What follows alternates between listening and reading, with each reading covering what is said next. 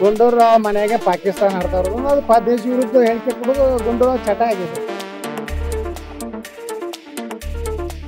ಅವರು ದಿನೇಶ್ ಗುಂಡೂರಾವ್ ಅರ್ಧ ಪಾಕಿಸ್ತಾನ ಅಂತ ಹೇಳಿದ್ರು.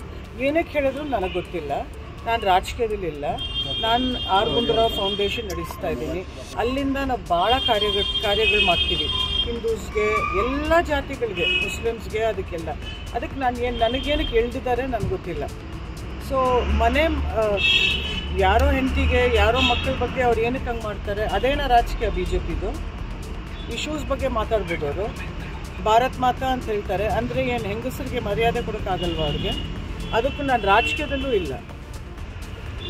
ದಿನೇಶ್ ಒಬ್ಬರು ಪೊಲಿಟಿಷಿಯನ್ ಇದ್ದಾರೆ ಅವ್ರ ಬಗ್ಗೆ ಅವರು ಚರ್ಚೆ ಮಾಡಿಕೊಂಡ್ರೆ ಪರವಾಗಿಲ್ಲ. ನನ್ಗೆ ಎಳೆಯೋದು ನನಗೆ ಇಷ್ಟ. ಅದು ಬೇರೆ ಈ ಮುಸ್ಲಿಂ ಕಾರ್ಡ್ ಆಡಿ ಆಡಿ ಇದು ಇದು ಇದು ಇದು ಸಾಕಾಗ್ಬಿಟ್ಟಿದೆ. ಇದು ಎಷ್ಟಂತ ಆಡ್ತೀರಾ ಇದು?